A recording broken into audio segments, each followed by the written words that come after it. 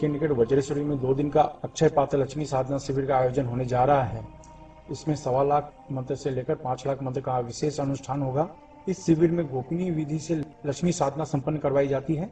अगर आप कर्ज, व्यापार में असफलता, नौकरी में असफलता, प्रमोशन, धन से संबंधित विवाद को समाप्त करना चाहते हैं तो इस साधना के द्वारा सुख समृद्धि प्राप्त कर सकते हैं। इस रोमांचक विषय को अगर आप सीखना चाहते हैं तो नीचे डिस्क्रिप्शन में लिंक दिया है। वहाँ से फॉर्म भर सकते हैं। नमस्कार।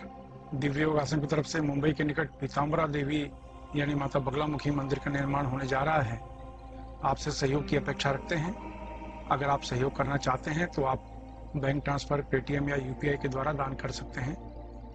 और यह दान इनकम टैक्स के आयकर धारा एटीजी के अंतर्गत टैक्स में छूट का लाभ भी ले सकते हैं। इसके बारे में अधिक जानकारी नीचे डिस्क्रिप्शन में दी गई है। नमस्कार। दिव्य योगासन की तरफ़ से आपका हार्दिक स्वागत है।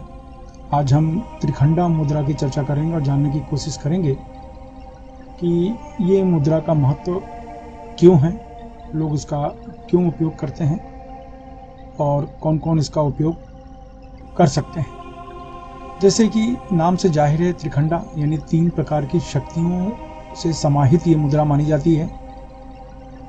इस मुद्रा में माता सरस्वती की शक्ति माता लक्ष्मी की शक्ति, माता काली की शक्ति, ये तीनों शक्तियाँ समाहित होती हैं।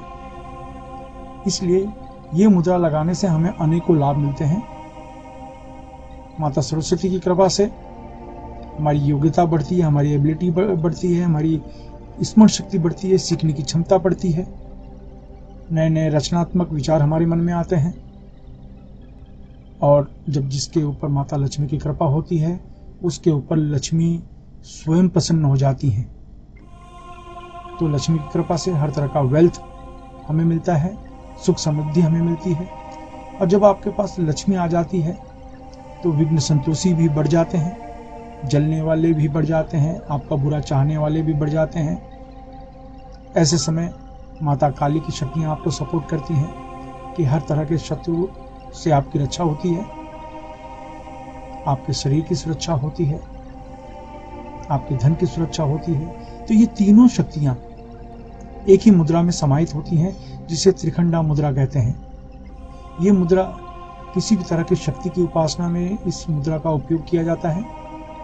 इसके अलावा त्रिपुर सुंदरी की साधना में ये विशेष तौर पे मुद्रा लगाई जाती है। त्रिखंडा मुद्रा हमारी सभी प्रकार की मनोकामनाओं को पूर्ण करता है, हमारी योग्यताओं को बढ़ाता है, हमारे अंदर मार्केटिंग स्किल, भाषण कला की क्षमता को बढ़ाता है, बातचीत की क्षमता को बढ़ाता है, मनुष्य के व्यक्तित्व को प्रभावशाली बनाता है। इसलिए ये मुद्रा बहुत ही उपयोगी मानी जाती है। जो शक्ति के उपासक हैं, उन्हें तो ये करना ही चाहिए। जो नहीं साधना कर रहे हैं किसी भी देवी देवता की, सामान्य रूप से ये मुद्रा पाँच मिनट लगाएँ यानी कोई भी व्यक्ति ये मुद्रा का उपयोग कर सकता है। उनके जीवन में योग्यता बढ़ती है, धन की समस्या ठीक होती है और शत्रु से मुक्ति मिलती है, सुरक्षा मिलती है। ये अपने आप प्राप्त होता है। सवाल है कि मुद्रा लगाने से ऐसा कैसे हो जाता है? मुद्रा विशिष्ट तरीके से लगाने की क्रिया होती है और मुद्रा के साथ जब भी प्राण शक्ति को जोड़ा जाता है, अपने आप उसकी शक्ति दस गुना ज़्यादा बढ़ जाती है। तो आइए जानते हैं इस मुद्रा का उपयोग कैसे करते हैं। ढीले ढले वस्त्र पहनकर किसी भी शांत कमरे में बैठ जाएँ। अगर आप ज़मीन पर नहीं बैठ सकते हैं तो किसी कुर्सी पर या सोफा पर शांत होकर बैठ जाएँ। अब देखिए विशिष्ट मुद्रा मानी जाती है तो इसका हाथ हमने ऐसे रख लिया। देखिए, इस तरीके से। एक तरीका है हाथ जोड़ना, लेकिन इसमें क्या करते हैं, इस तरीके से करते हैं। देखिए, ये उंगलियों को जोड़ते हैं, फिर दूसरी उंगली को जोड़ते हैं, तीसरी को और चौथी को जोड़ के बीच में जगह खाली रख देते हैं। ऐसे, आप देख लीजिए। इस तरीके से। सामने से इस तरीके से दिखेगा। इस तरीके से देखिए साइड से। और ये सामने से ये मुद्रा होती है, बीच में ये खाली हो जाती है। ऐसा। आप देख रहे हैं? तो इस तरीके से ये मुद्रा आपको लगाना है।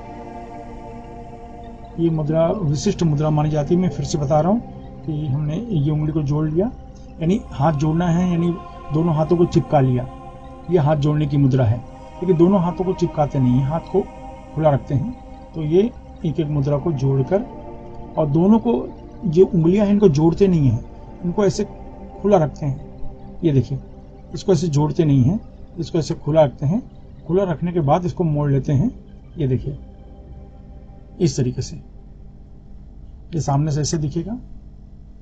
इस तरीके से ऐसे दिखेगा। इस तरीके से ऐसे दिखेगा। बीच में खाली होगा जगह।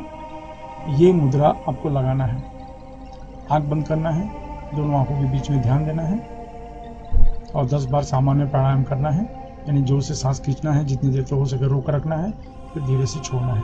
इस तरीके से 10 बार सामान्य प्राणायाम करें। जब ये मुद्रा के साथ प्राण शक्ति जोड़ी जाती है तो मुद्रा की शक्तियाँ तेज़ी से बढ़ जाती है।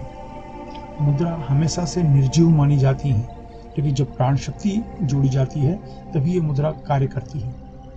और इसके लिए कोई धर्म का मुद्दा नहीं है। कोई भी व्यक्ति इस अभ्यास को कर सकता है। और जो साधना करते हैं, जो शक्ति के उपासक हैं, उनके लिए तो ये साधना करना, ये मुद्रा का लगाना, ये मुद्रा लगाना कंपलसरी माना जाता है। यानी पाँच मिनट ये मुद्रा का अभ्यास करें, फिर उसके बाद वो साधना करें। जो लोग शक्ति के उपासक हैं और जो लोग नहीं हैं, सामान्यतः रोज पाँच मिनट ये मुद्रा लगाएँ। देख लीजिए, ये पाँच मिनट ये मुद्रा लगाएँ और ये मुद्रा लगाने के बाद दस बार प्राणायाम करें। चार से पाँच मिनट का समय लगेगा। सुबह, दोपहर, शाम, रात कभी भी किसी भी समय अभ्यास किया जा सकता है। इसमें कोई नियम नहीं है, सोमवार, मंगलवार बुधवार, गुरुवार, ऐसा भी नहीं है। जब भी समय मिले, करें। लेकिन रोज कम से कम एक बार, आप दो तीन बार भी मुद्रा लगा सकते हैं दिन में दो तीन बार, लेकिन कम से कम एक बार ज़रूर करें।